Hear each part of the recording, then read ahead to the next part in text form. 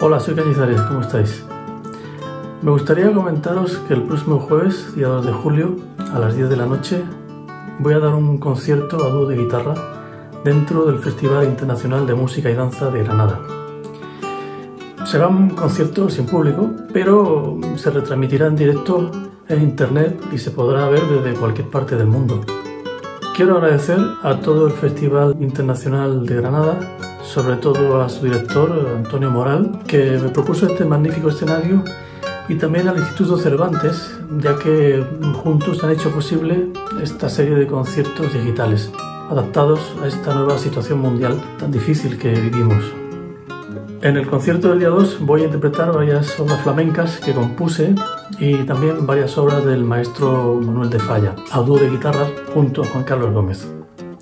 Un gran abrazo para todos desde Granada.